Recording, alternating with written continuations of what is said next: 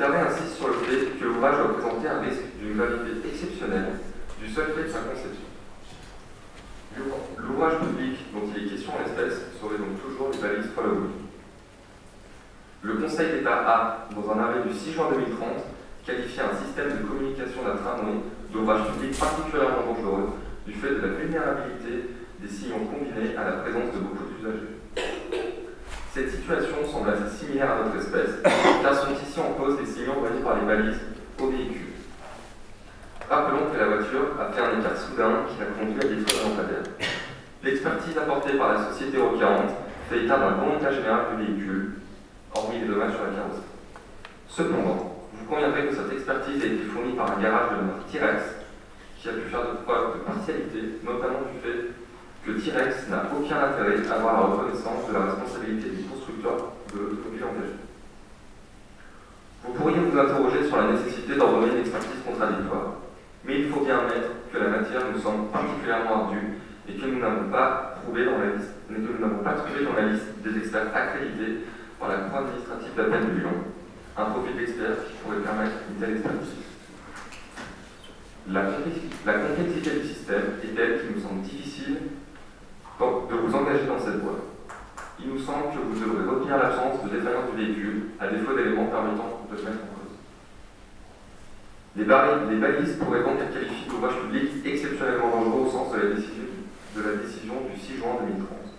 Toutefois, une décision en date du 21 juin 2030 du tribunal administratif de Grenoble exclut cette qualification si l'ouvrage peut faire l'objet d'une intervention humaine pour limiter ce risque ou que les risques associés à l'ouvrage sont so relatifs à d'autres ouvrages comparables. Si nous, ne partageons pas totalement l'analyse du tribunal administratif de Grenoble, s'agissant de la présence de risques ou non pour d'autres ouvrages comparables, nous pensons que la question de contrôle par une personne humaine du système mis en place est assurément un élément à prendre en compte pour établir le caractère d'ouvrage exceptionnellement dangereux. En l'espèce, l'intervention humaine est possible pour vérifier si les signaux brouillés ou non peuvent être corrigés. Il est également de même, il est également de même de déterminer si de tels brouillages de signaux existent sur cette balise ou s'ils peuvent exister sur toutes les balises présentes dans la ZTP. L'intervention humaine n'est donc pas exclue. Il vous faut donc analyser si vous pouvez retenir que le système constitué par les balises Me reste contrôlable par l'intervention humaine. Or, devant le peu d'éléments de preuve apportés par la requérante, alors que la notion d'ouvrage public exceptionnellement dangereux doit être encadrée si on veut éviter une mise en cause systématique de la puissance publique, nous considérons qu'il est impossible en l'état de qualifier les balises d'ouvrage public exceptionnellement dangereuses et donc d'accueillir ce moyen. De ce fait, il nous semble que vous ne pouvez retenir que la responsabilité de la ville de Lyon, que vous ne pouvez retenir que la responsabilité de la ville de Lyon est engagée. Examinons, bien que ce soit nécessaire à ce stade, la question de la responsabilité de M. Dallot, que nous qualifions de conducteur par Pour sa défense, la ville de Lyon appuie sur le comportement fautif du conducteur. En effet, la défense estime que le conducteur d'une voiture autonome de type 4 n'a pas exécuté les diligences nécessaires obligatoires afin de prévenir un dommage imminent, comme le prévoit le nouvel article R412-10 du Code de la route. Vous devrez donc déterminer si M. Dallot est en mesure d'accomplir ces diligences. La société Général Shield rappelle toutefois, en produisant le témoignage du conducteur, que celui-ci était en état de conduire, qu'il s'assurait que le véhicule respecte la vitesse autorisée et qu'il regardait également les piétons. Il n'est en effet pas contesté que le véhicule respectait les limitations de vitesse et que M. Dallot était attentif à l'environnement, notamment à la présence de au moment de l'accident. Mais, cependant, la survenance de l'accident a été d'une telle rapidité que dans tous les cas, le conducteur n'aurait pas pu réagir, même avec un excellent temps de réaction, comme le souligne la requérante. De ce fait, il nous semble que la faute de M. Dallot ne pourrait pas être retenue. Par ces motifs, nous concluons au rejet de la requête. La société d'assurance Générale Shield, Maître Julien, Maître Hugonin et Maître Gauthier. Laissez-moi rappeler, euh, je ne vais pas m'étendre sur les faits, ils ont été euh, très bien euh, relatés. Seulement, je me permettrai de rappeler, c'est très important et nécessaire pour, mon propos, que l'accident est survenu le 6 mai 2029 et est en cause un véhicule autonome et pas un véhicule automatique comme il a pu être dit deux, trois fois. Donc, c'était un véhicule autonome de type 4 avec l'accident survenu le 6 mai 2029. Sur la pièce euh, adverse numéro 3 de la partie adverse, euh, nous avons une copie du marché public émis pour l'installation de ces balises. Nous euh, voyons sur ces pièces que les balises ont été mises en service le 1er octobre 2028. différents contrats ont été émis, notamment avec la société Solmar pour la mise, la mise en place de ces balises et avec la société Intuitech pour la maintenance et l'entretien de ces balises. Euh, sur euh, la pièce adverse numéro 4, euh, numéro 3, pardon, excusez-moi, dans l'article 4, concernant la maintenance de ces balises et des logiciels, il est prévu expressément que les balises doivent être entretenues tous les ans à partir de la mise en service, et s'agissant des logiciels, un contrôle doit être effectué tous les 4 mois dès la mise en service, et c'est la première année. Ce qui nous intéresse, c'est la première exploitation, donc un contrôle doit être exercé tous les 4 mois sur les, sur les logiciels. Ensuite, il y a les, mises à jour de ces logiciels, qui, est, qui a été expressément rappelé par la partie adverse, euh, qui est totalement différente des contrôles. Les mises à jour du logiciel ainsi que les contrôles du logiciel sont deux opérations totalement indépendantes et totalement différentes. Donc il convient de ne pas, de pas euh, considérer qu'une mise à jour est un contrôle. Euh, ainsi, sur euh, l'annexe de la pièce adverse numéro 4, le plan de contrôle euh, qui a été effectué le 20 mai 2029, il n'est fait aucune mention d'un contrôle sur les logiciels. nous avons des mises à jour du logiciel, dont la dernière remonte au 9 janvier 2029. le dernier test qui pourrait s'apparenter à un contrôle mais qui n'est pas comme tel remonte à fin octobre 2028. Ça veut dire que depuis octobre 2028, aucun contrôle proprement parler, n'a été effectué sur les logiciels. Des mises à jour, certes, mais pas des contrôles. Et la, partie adverse l'a rappelé, ce sont deux opérations totalement indépendantes. Ensuite, concernant les balises, euh, le contrôle des balises devait être effectué tous les ans. Euh, sur le plan de contrôle, toujours l'annexe de la jointe numéro 4, euh, il a été planifié un contrôle au 5 octobre 2029, donc c'est-à-dire 4 jours après le délai normalement prévu, c'est-à-dire que l'administration prévoyait, avant même de contrôler ces balises, prévoyait de ne pas respecter les délais de contrôle. Euh, et encore, euh, l'administration s'est gardée de nous fournir les, pièces qui pourraient attester les contrôles jusqu'à aujourd'hui, même si ce n'était pas l'objet des débats, ça aurait pu être très intéressant, euh, car on ne sait pas si ce contrôle a été effectivement exercé, effectué, car il est resté au stade de la planification apparemment, et nous n'avons pas d'autres éléments pour, pour juger de, l'entretien normal de ces balises.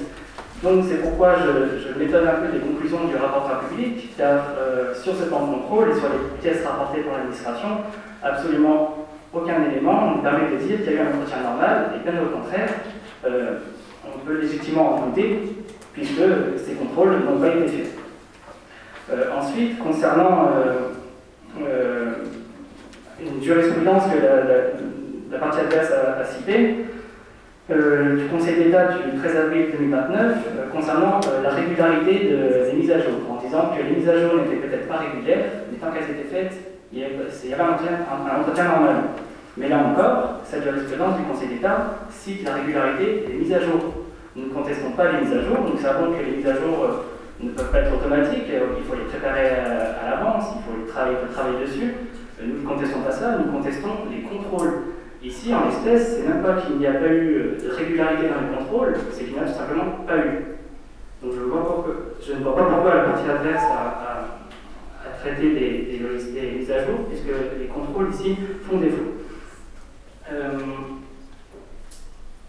ensuite, pour finir, je finirai mon propos là-dessus. Euh, je sais qu'il est, normal pour la partie adverse, pour l'administration, d'appeler en garantie euh, son contre-tractant. Euh, puisque euh, son co-contractant, apparemment, dans le, mémoire de la défense, euh, avait le droit, sans, aucune clause, sans rien du tout, avait le droit de ne pas respecter les échanges de contrôle. il y avait un contrat, mais la société Impitech pouvait, de manière totalement unilatérale, modifier les dates de contrôle sans que la ville de Lyon n'y voit aucun inconvénient en disant oui, la société Impitech fait absolument ce qu'elle veut, c'est elle qui voit, c'est complexe, c'est très difficile de contrôler ses valises, donc la société Impitech euh, aménage un peu comme elle veut ses délais. Euh, il y a un contrat de maintenance qui a été, euh, qui a été conclu, dès lors, ce contrat doit être respecté.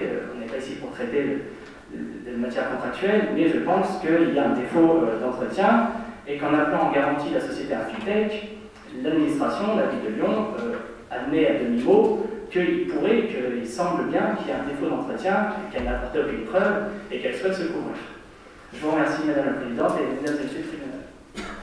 Madame la Présidente, Mesdames et Messieurs du tribunal, j'aimerais quant à moi revenir euh, sur euh, la question du caractère exceptionnellement euh, dangereux de l'ouvrage public qui vise à retenir la responsabilité sans faute de l'administration, ici la ville de Lyon. Sans surprise, je ne partage pas euh, en tout point les conclusions du rapporteur public qui a statué en la faveur de la partie adverse. Puisque, euh, selon lui, euh, le caractère exceptionnellement dangereux de l'ouvrage public fait défaut, puisqu'il se doit d'être constant et permanent.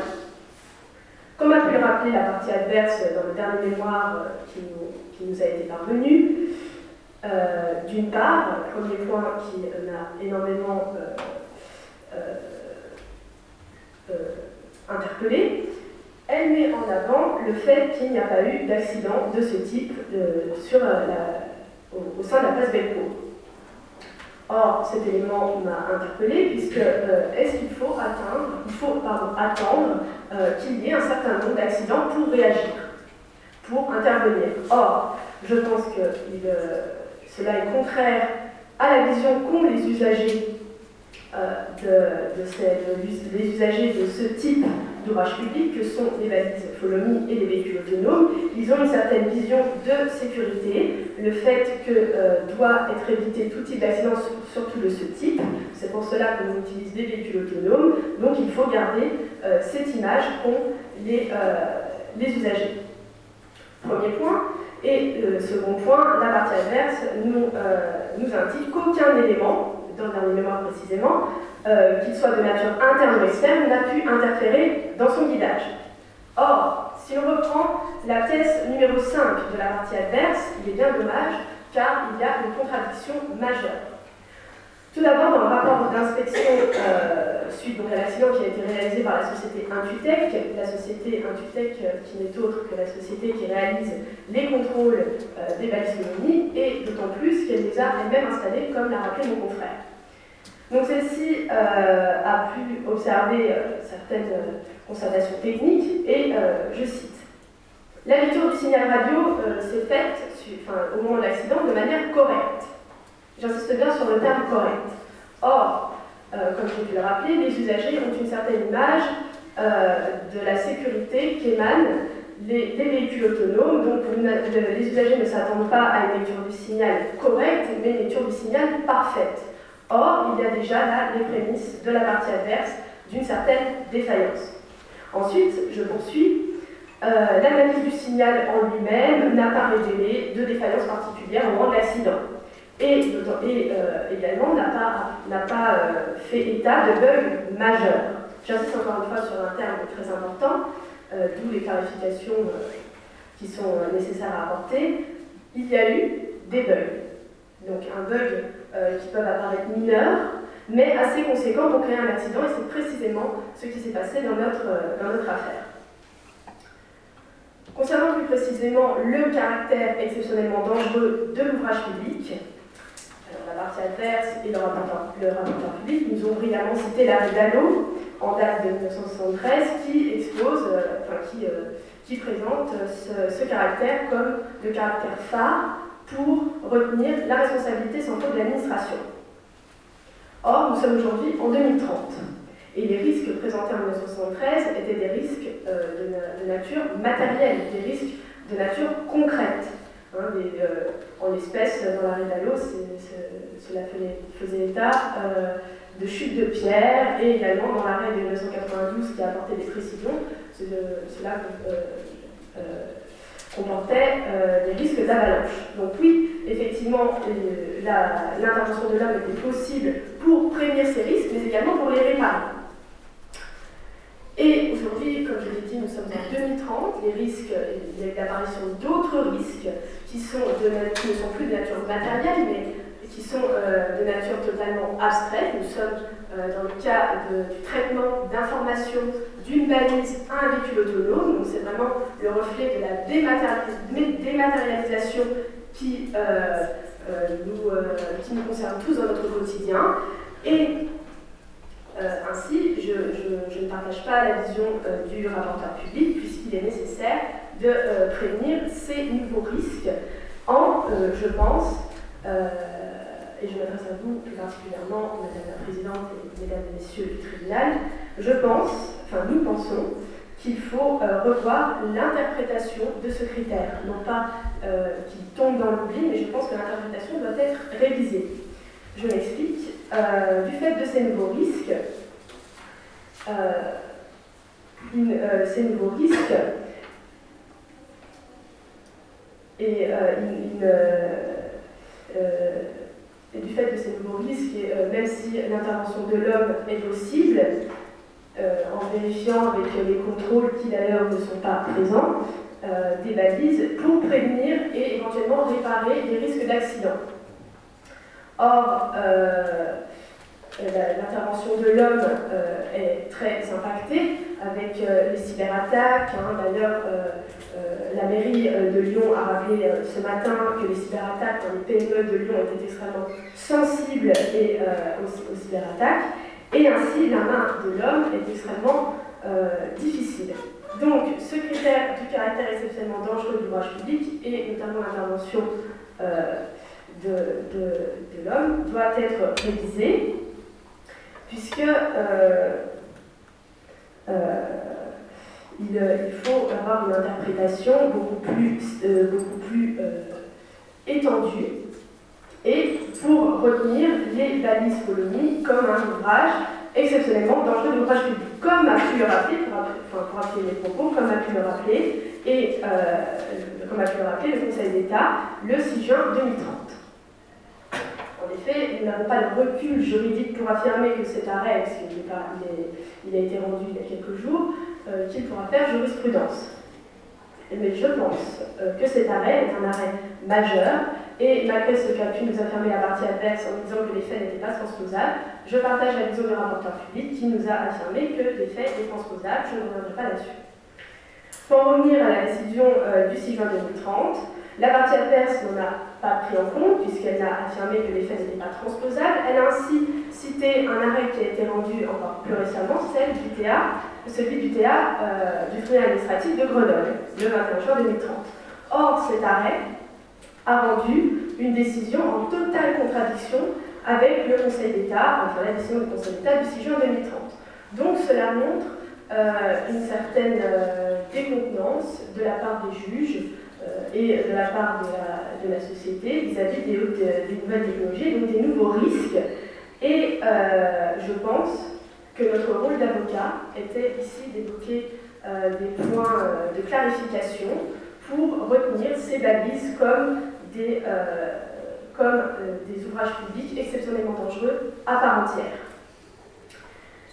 Et euh, cet arrêt du 6 euh, juin 2030, qui je pense fera jurisprudence dans les années à venir, nous a une nouvelle fois démontré que le droit n'était pas une matière figée, euh, le droit de ces nouvelles technologies est en marche, la construction est en train de se faire, voilà.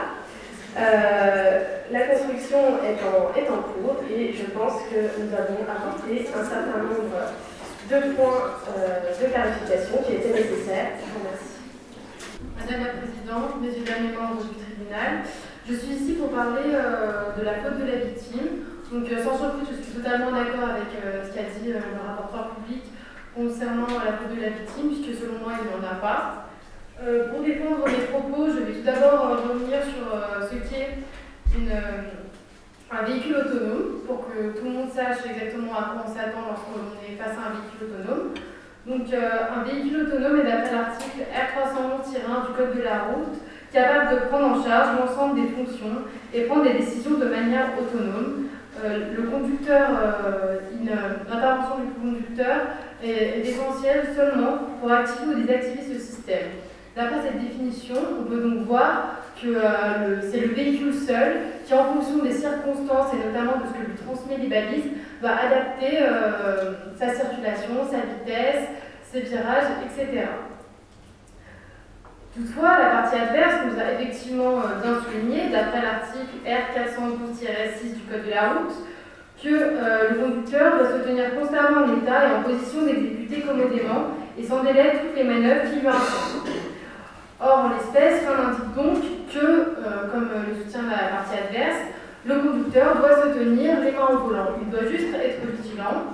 Or, euh, comme a démontré euh, le procès verbal que nous avons fourni, le conducteur était vigilant au vu de l'endroit où nous trouvions dans la place Belcourt, sans compter qu'il ne connaissait absolument pas les lieux.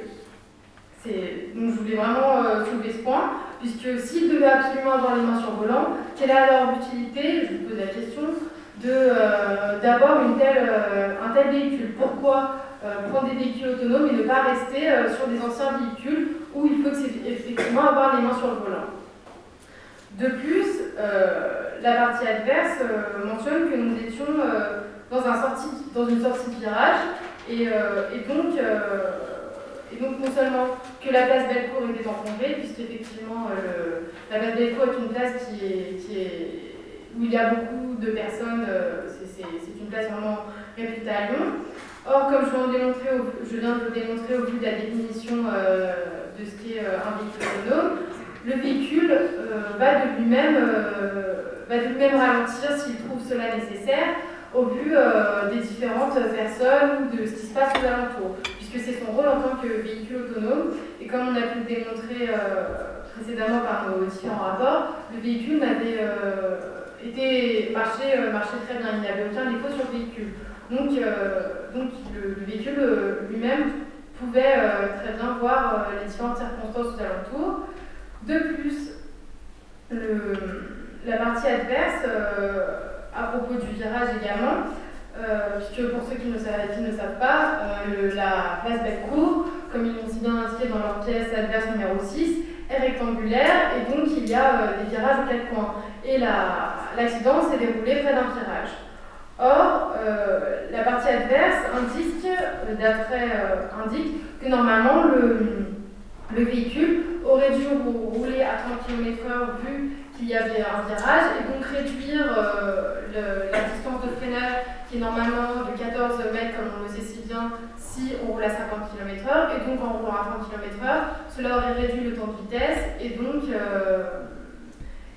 et donc, il n'aurait pas percuté le lampadaire. Or, Je tiens euh, vraiment à rappeler déjà, dans un premier point, que en ville, tout le monde le sait, c'est limité à 50 km/h. Et rien ne nous indique, sauf euh, certaines réglementations spécifiques, mais ici, rien ne nous indique que le véhicule ne devait pas rouler à 50 km/h. Donc c'est ce que le véhicule a fait. Il a effectivement roulé à 50 km/h tout en prenant les, circonstances extérieures en, cause, comme le sait si bien faire un véhicule autonome. C'est pourquoi le, le temps de vitesse, le temps de, de, de, vitesse, de distance n'est pas, pas diminué comme le fait dans la partie adverse. nous sommes donc bien à une distance de 14 mètres, qui euh, explique largement pourquoi on a véhicule, le véhicule a frappé le lampadaire. Nous demandons donc, euh, je vais conclure en, rappelant que nous demandons donc euh, à la ville de Lyon le paiement de 58 948 euros et 28 centimes au titre de préjudice subi par euh, la société anonyme Général Je vous remercie, euh, Madame la Présidente, messieurs, dames et membres du Pour la ville de Lyon, Maître Giacchino, Maître Udry, Maître Girardin et Maître Fouillard.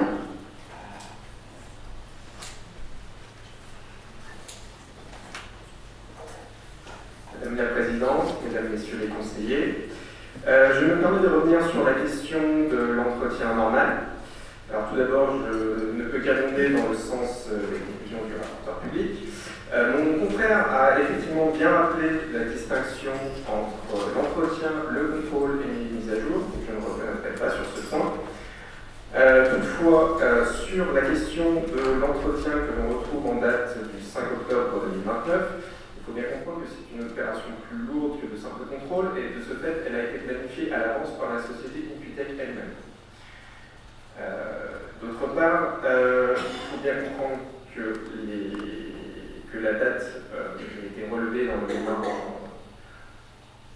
en, réplique de, nos confrères, que la date du 1er février 2029 n'a pas été effectuée, ce contrôle, est effectivement imputable à la société Inutech, puisque c'est elle seule qui a la charge de, la planification et des dates. Ville de Lyon ne peut être retenue responsable sur ce point ci euh, toutefois, euh, je me dois d'appuyer fortement sur le deuxième contrôle en date du 1er juin 2029 qui a été évoqué. Je me dois de rappeler que l'accident a eu lieu le 6 mai 2028, 2029 pardon, et que le contrôle était prévu pour le 1er juin 2029. Toutefois, le document émis par la société Intivitech date du 20 mai 2029, soit à peine deux semaines après l'accident. C'est donc évident que le contrôle ne puisse pas apparaître dessus puisqu'il n'a pas pu être effectué par la même entreprise.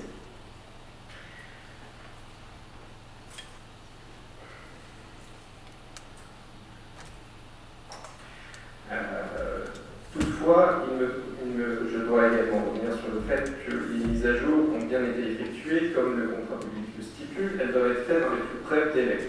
Ces mises à jour sont à distinguer des contrôles et, qui doivent, et ces mises à jour doivent donc être effectuées le plus rapidement possible, ce qui a été le cas à deux reprises le 17 décembre 2028 et le 9 janvier 2029. De plus, la jurisprudence euh, que nous avons évoquée d'avril 2029 met en avant le fait que les mises à jour peuvent être retenues comme de l'entretien. Elles peuvent être assimilées à, de l'entretien en l'absence de régularité stricte. En effet, comme je l'avais soulevé, il y a effectivement la question de la criticité et de la complexité des mises à jour qui sont effectivement relatives au problème qui est donc soulevé et qui dépend effectivement du bug à régler.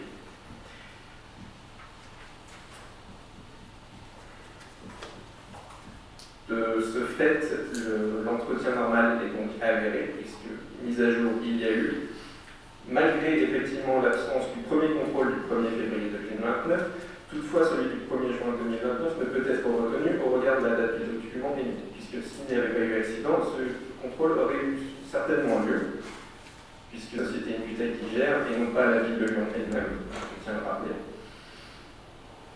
et évidemment de retenir la date du 20 mai 2029 pour le document pour bien prendre en considération la chronologie des événements. Je laisse maintenant la place à mes confrères pour la suite. Merci Madame la Présidente, Messieurs, Dames les conseillers. Madame la Présidente, messieurs, Mesdames et Messieurs les conseillers du tribunal administratif, comment dire je, souscris complètement aux conclusions du rapporteur public. Je reviendrai pour ma part euh, sur la responsabilité sans faute de l'administration. Régime qui a été évoqué, soit dit en passant, en second temps, alors qu'il aurait dû, pour une certaine cohérence juridique, être évoqué en premier temps.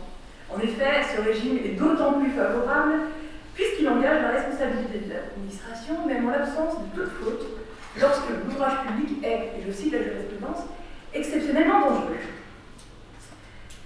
Alors, comment pouvez-vous imaginer, envisager un seul instant que la balise Polony, donc euh, ici ouvrage public, mise en place par la ville de Lyon, soit un ouvrage public exceptionnellement dangereux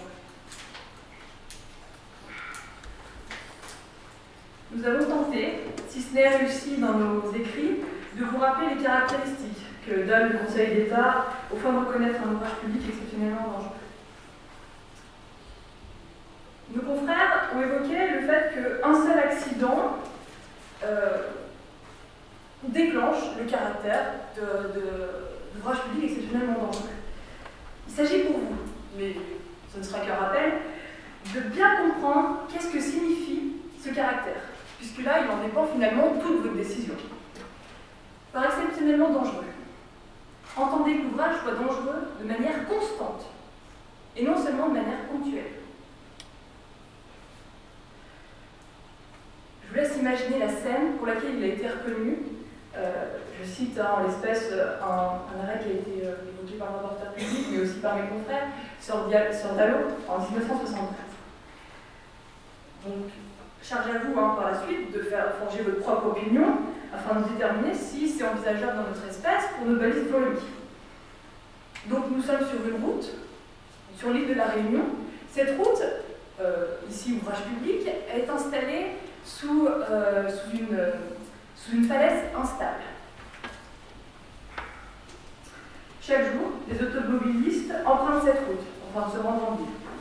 Chaque jour, ces automobilistes, ils risquent leur vie. Et pour cause, cette route, est notoirement connue pour connaître des éboulements pierres constants. Je crois que c'est ma consoeur qui a évoqué ça, elle parlait de pierres qui tombaient. Non, on peut vraiment parler d'avalanche de pierres. Enfin, je ne sais pas si je vous propose l'année prochaine de prendre un voyage en réunion pour, pour aller constater de votre part. Mais voilà, cette fin. Et, et voilà ce que le Conseil d'État considère comme un ouvrage public exceptionnellement dangereux. Alors, est-ce qu'on peut envisager ça euh, en ce qui concerne les, balises colonies Maître euh, Fouillard euh, tentera de, et réussira de, vous le prouver. Mais je finirai par là. Afin de vous aiguiller une nouvelle fois vers la vérité, je vais vous rappeler dans quelle situation le Conseil d'État a refusé de reconnaître le caractère exceptionnellement dangereux de l'ouvrage public. Il a en effet été écarté pour une route de montagne seulement exposée aux avalanches. Conseil d'État, 11 avril 1975, département de la Haute-Savoie. Seulement exposé aux avalanches. On, retrouve le critère fondamental qui est le risque constant. Et croyez mon expérience de Haute-Savoyarde, le risque d'une avalanche, c'est autre chose que le risque de la balise.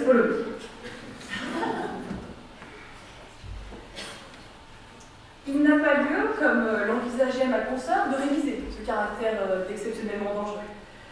Et je crois que c'était le, rapporteur public a résumé à la perfection euh, finalement notre cas. Euh, il faut éviter, je cite pas le rapporteur en cause de la personne publique systématique. Madame la Présidente, Mesdames et Messieurs les conseillers, je terminerai sur ce point et vous laisse avec Maître Fouillard. Madame la Présidente, Mesdames et Messieurs les conseillers, je reviendrai donc euh, sur la responsabilité sans faute évoquée par mon frère, euh, qui est absolument inenvisageable pour notre part dans ce cas.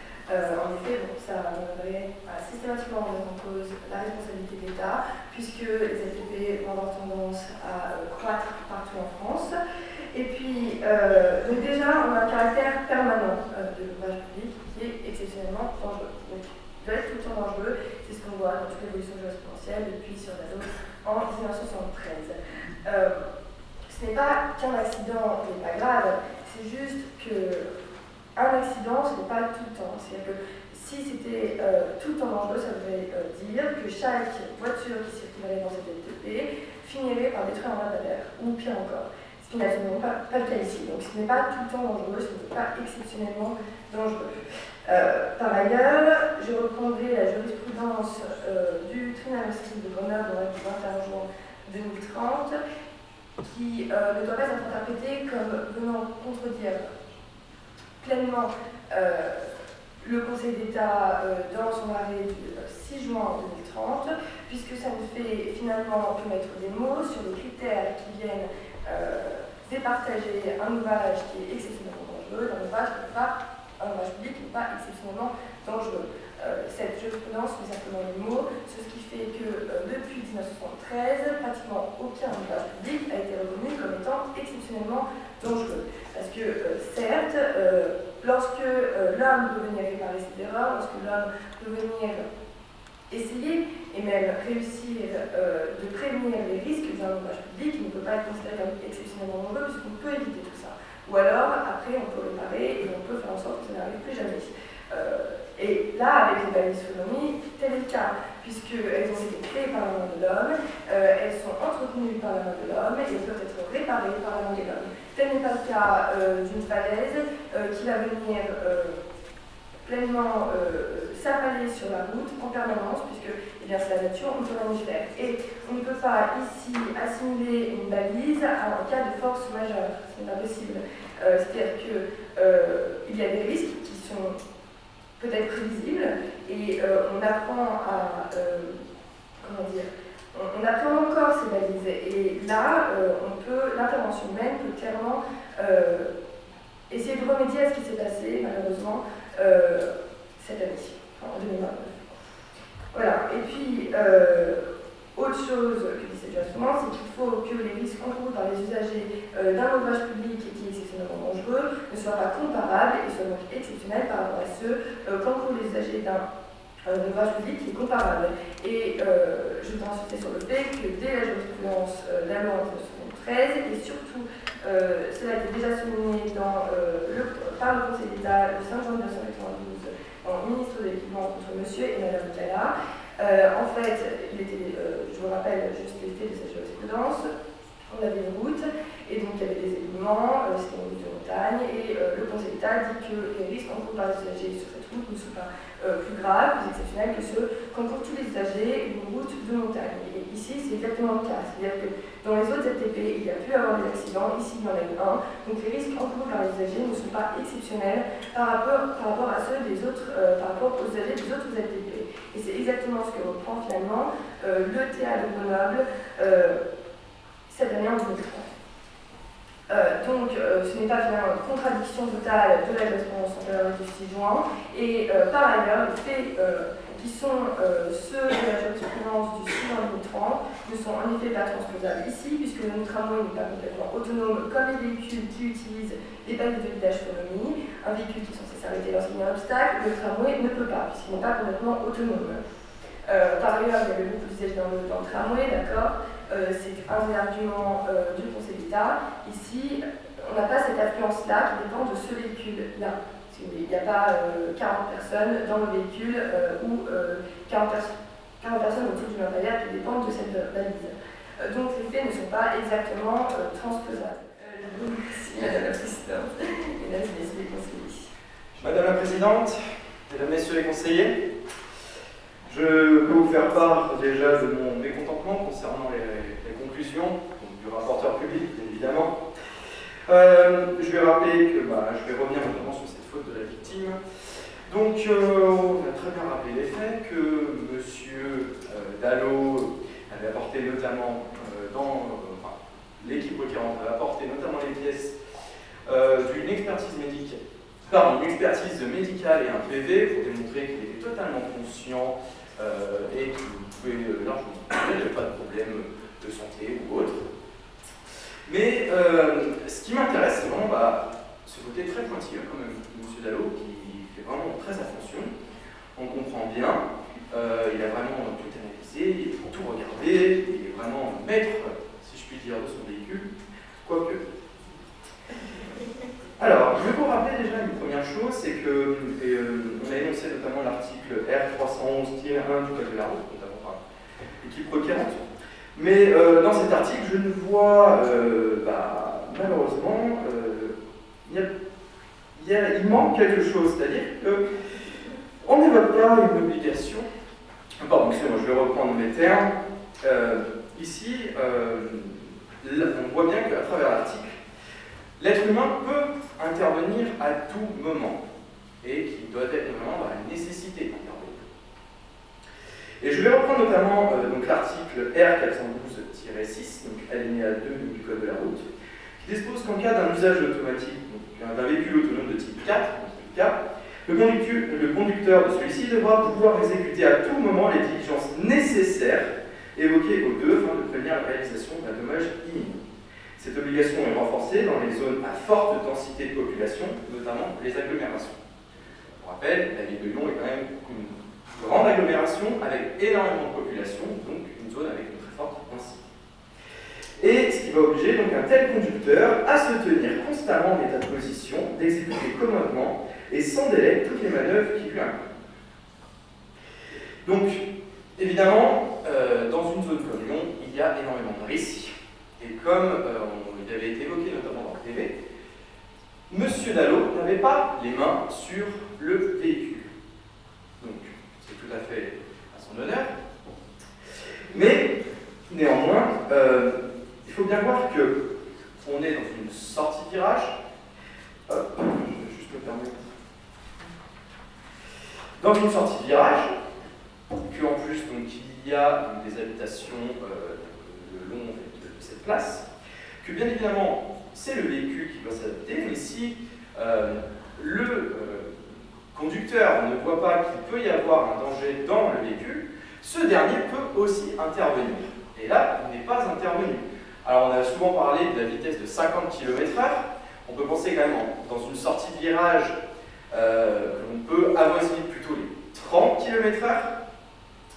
Et ce qui aurait donc donné un temps et une réaction beaucoup plus courte. Mais euh, je tiens à rappeler quand même que euh, il n'y a eu vraiment aucune trace, aucune manœuvre pour essayer d'éviter ce lampadaire. C'est-à-dire que M. Dallot n'est même pas intervenu, n'a même pas essayé de réaliser une action qui, euh, surtout en 2030, aurait pu par exemple être, être constatée dans une expertise, dans un balise. Et et je tiens aussi à rappeler qu'il n'y a pas eu quand même euh, le respect du contradictoire sur l'expertise. Donc au final, eh ben, il n'y a pas eu de tentative, ni même euh, d'autres euh, nécessités d'essayer de, reprendre le véhicule pour éviter l'accident. il n'a pas respecté en soi les diligences qui étaient nécessaires pour un, pour un accident qui allait se passer. Il aurait pu avoir le temps de réagir. Merci. Madame la Présidente, Mesdames, Messieurs les conseillers. La partie adverse a quelque chose à ajouter Merci Madame la Présidente de nous redonner la parole. Euh, j'ai quelques points à clarifier. Déjà, concernant la responsabilité pour faute, je ne comprends même pas pourquoi nous sommes venus aujourd'hui, puisque l'administration vient d'affirmer pour vous que le contrôle n'avait pas été fait, c'est à ce qui était en tort et que du coup le défaut d'entretien n'était pas constaté. De plus, elle a précisé qu'il euh, y a eu le contrôle le 20 mai 2009 des balises, euh, que ce contrôle est intervenu à la suite des incidents.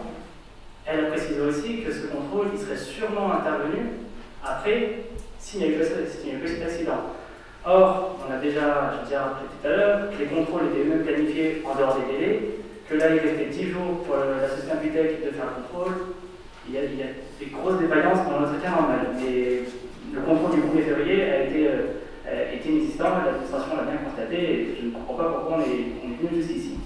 Ensuite, concernant la faute de la victime, euh, c'est une très belle plaidoirie que vous avez notre confrère, mais euh, je sais rappeler quelque chose. Tout d'abord, un véhicule autonome de type 4, c'est un véhicule qui prend en charge l'ensemble des fonctions du véhicule. C'est-à-dire qu'il conduit un véhicule autonome et autonome. Il conduit absolument tout seul. L'individu, comme l'article code de la route précédemment cité le rappelle, doit être en éveil, en éveil et doit être vigilant euh, euh, concernant l'environnement. En l'espèce, il était bien vigilant. Il, était sur le siège conducteur, certes, il posait des mains sur le volant, comme le permis un véhicule autonome, mais il était vigilant. Et concernant son temps de réaction, euh, euh, la partie adverse nous dit qu'il n'y a eu aucune réaction, aucune trace de, réaction. Euh, je ne sais pas si vous avez déjà eu un accident de voiture, mais tout se passe en une fraction de seconde. Et ici, un écart, il est bien précisé que c'est un écart brusque que la voiture a fait. c'est difficilement envisageable que le conducteur ait pu réagir, n'ayant pas les mains sur comme il était permis, c'est difficilement envisageable que le conducteur ait pu réagir en une fraction de seconde pour éviter ces lampadaires. Ensuite, euh, euh, la partie adverse mentionne bien que c'est une, somme sortie de garage. vous le verrez sur leur pièce, sur leur pièce jointe, sur la photo de, l'accident en place Belcourt, où on voit que c'est une sortie de virage, que la ligne droite est déjà bien entamée, et on sait tous ici qu'en sortie de virage, quand on commence une droite, qui est déjà bien entamée en l'espèce, on commence à réaccélérer. Et je souhaite préciser que ce sont les balises qui transmettent les données aux voitures. Si les balises disent aux voitures c'est bon, euh, vous pouvez rouler à 50 km/h, il n'y a aucun danger, les voitures le font. Les voitures autonomes ne font que ce que leur euh, transmettent les données. Merci. Pour la réagir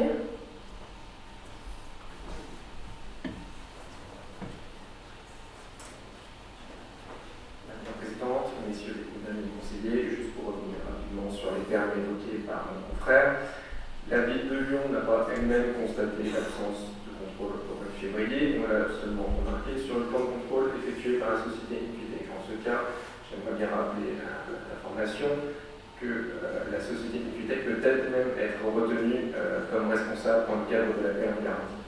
S'agissant euh, de la faute de la victime, il faut bien rappeler qu'effectivement les balises peuvent servir de guidage, mais n'empêchent aucunement la place du conducteur le. C'est à lui de pouvoir effectuer les diligences. Le véhicule n'est pas un type 5. L'humain a encore sa place dans le véhicule. Merci. Monsieur le rapporteur, des questions? Euh, Oui. Euh, alors, dans un premier temps, j'aimerais demander euh, euh, à la partie requérante, je voudrais poser une question concernant, vous avez parlé, les deux parties d'ailleurs, euh, de l'obligation de vigilance qui s'impose même à un conducteur de véhicule autonome. Me semble que vous étiez tous les deux d'accord pour, euh, pour dire qu'elle s'appliquait euh, en l'espèce, même à un conducteur de véhicule autonome. J'aimerais savoir, selon vous, à quoi sert une obligation de prudence si du coup il n'y a pas une obligation subséquente d'intervenir pour le conducteur qui se rend compte que son véhicule présente un défaut? Monsieur, je souhaite préciser véhicule autonome est, vraiment autonome, et c'est un véhicule de type 4, non de type 5 comme on vient de le rappeler. Un véhicule de type 4 nécessite euh, quelqu'un sur, le siège conducteur, mais pas nécessairement les mains sur le volant. Et bien évidemment, euh, étant pas autonome nécessitant un conducteur, le conducteur doit être euh, en position de réagir, et doit réagir si vraiment il y a un danger. Mais là, en l'espèce, tout s'est passé en une fraction de seconde le conducteur était en mesure de réagir, puisqu'il était sur le siège conducteur, il n'était pas sur la banquette arrière en train de boire un cocktail, il était bien sur le siège conducteur, il regardait les alentours, il regardait l'environnement, mais son écart brusque, euh, l'écart brusque de son véhicule, ne l'a pas permis de réagir à temps. D'accord.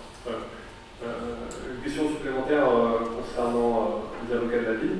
J'aurais aimé savoir concernant l'application du caractère constant dans euh, l'application de la responsabilité sans faute pour le droit public particulièrement dangereux.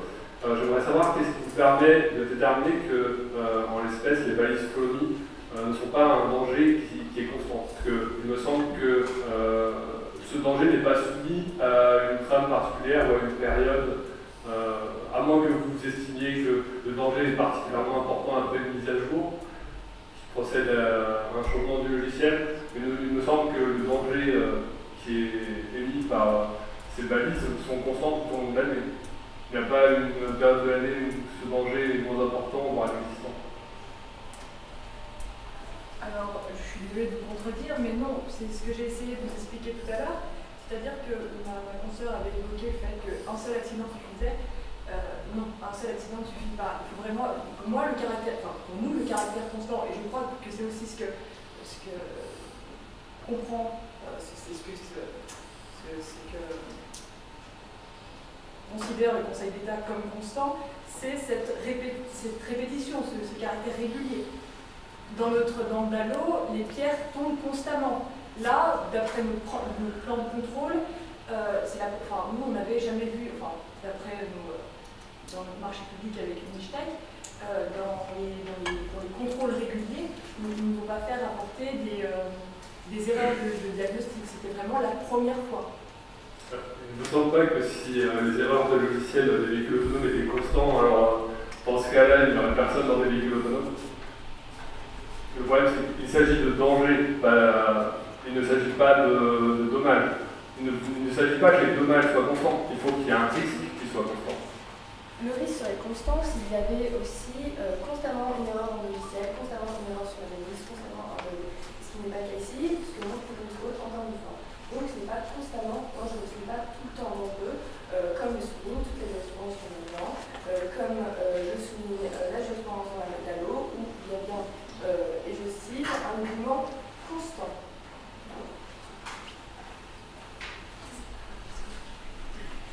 D'autres questions D'autres questions Pas de question, Très bien. Cette affaire est récupérée. L'audience est levée. Le jugement sera lu en 45 minutes dans cette salle. Mesdames et messieurs, le tribunal.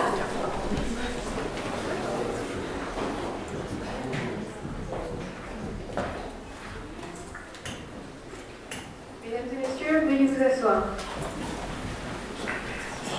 la professeure, vous pouvez dire le jour. Merci Madame la Présidente. Considérant que le 6 mai 2029, M. Benjamin Dallot, alors à bord de son véhicule automatique de la marque T-Rex, a eu un accident place Bellecour à Lyon. Que son véhicule a commis une erreur de trajectoire, le faisant sortir de la route et percuter un lampadaire appartenant à la SARL Rita.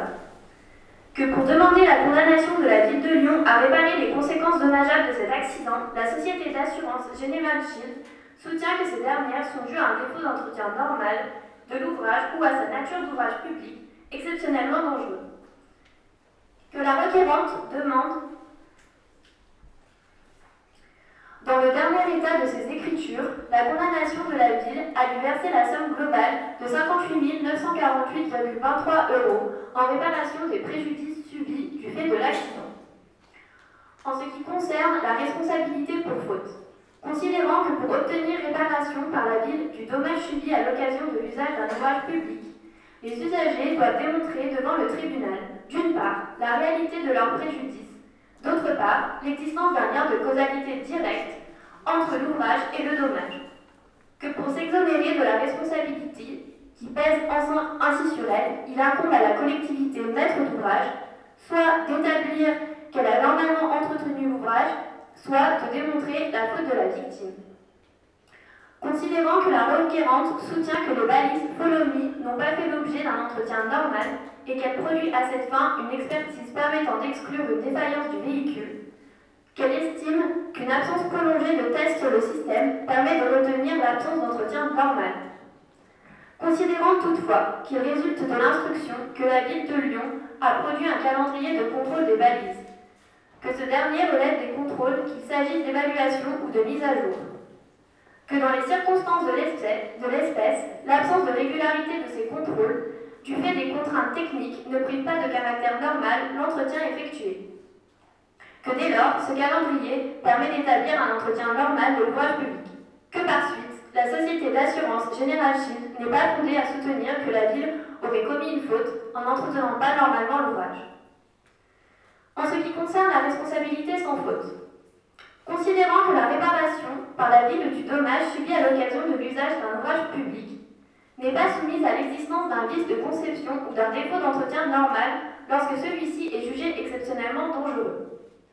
Considérant que le réseau électromagnétique routier dont dépendent les véhicules autonomes sur la presqu'île lyonnaise est un système extrêmement sécurisé, que ce réseau reste néanmoins vulnérable exceptionnellement à certains éléments extérieurs, imprévisibles et irrésistibles, ce qui ne peut être empêché par davantage de contrôle par l'homme dans l'état actuel de la science. Que les dégâts engendrés à de telles occasions sont d'une potentielle importante gravité. Qu'il en résulte que le système électromagnétique routier est un ouvrage public exceptionnellement dangereux.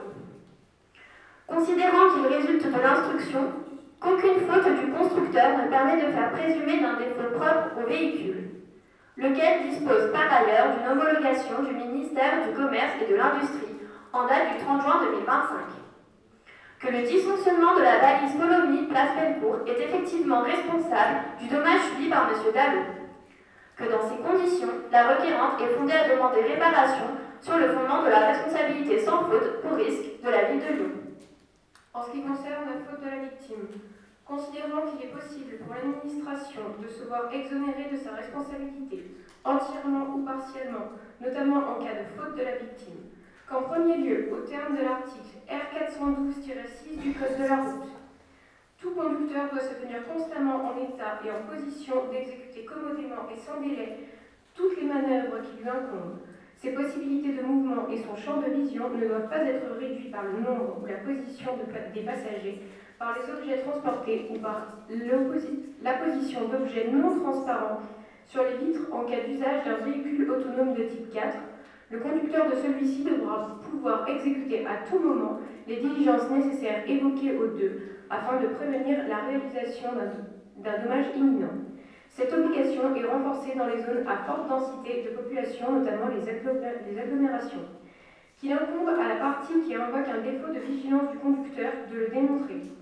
Considérant qu'il résulte de l'instruction que M. Dallot n'avait pas les mains sur le volant au moment de l'accident et que ce dernier n'a pas réagi malgré l'erreur de trajectoire prévisible du véhicule, qu'il n'avait cependant pas plus de quelques secondes afin de corriger l'erreur, qu'en l'état, la ville n'a pas suffisamment caractérisé un défaut de vigilance de la part du conducteur.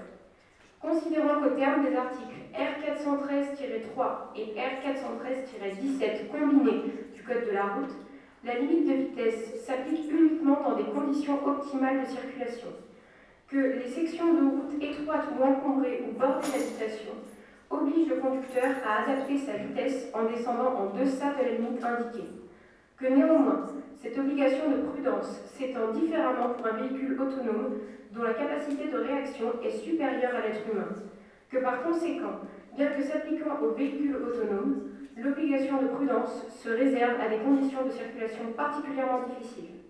Considérant qu'il résulte de l'instruction que M. Dallot roulait à 50 km/h place Bellecour, que cette place, bien que faisant l'objet d'un trafic piéton important et étant parfois bordée d'habitations, dispose d'une infrastructure routière en bonnes conditions et offre aux véhicules une nette vision périphérique.